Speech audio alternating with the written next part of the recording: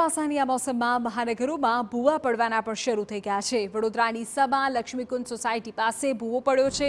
આ ભૂવામાં JCB મશીનનું tyre અને પાછળનો ભાગ ફસાયો.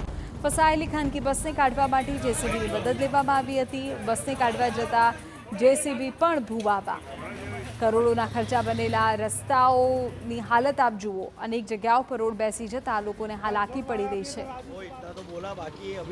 વડોદરાથી વધુ વિગત તમારા સંવાદદાતા અંજલિ આપી રહ્યા છે. અંજલિ શું સ્થિતિ છે વડોદરાના રસ્તાઓની?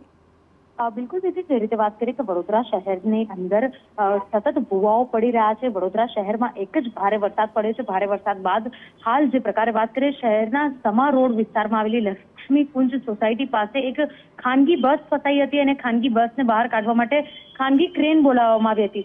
નસીબ એટલું ખરાબ હશે અને પાલિકાની જે કરેલી કામગીરી છે તે પણ એટલી ખરાબ હશે કે જે ક્રેન બસને કાઢવા માટે આવી હતી, તે ક્રેન પોતે પણ એ જ ખાડામાં ફસાઈ ગઈ એટલે પાલિકા દ્વારા જે રસ્તો સવા કરોડના ખર્ચે થોડા સમય અગાઉ જ બનાવવામાં આવ્યો હતો. આ રસ્તાની કામગીરીનો પણ એક મોટો સવાલ ઊભો થઈ રહ્યો છે. પાલિકા દ્વારા પ્રી મોન્સૂનની કામગીરી માટેના મોટા બણગાઓ ફૂંકવામાં આવી રહ્યા હતા. તે કામગીરી પર પણ અહીંયા સવાલો થઈ રહ્યા છે.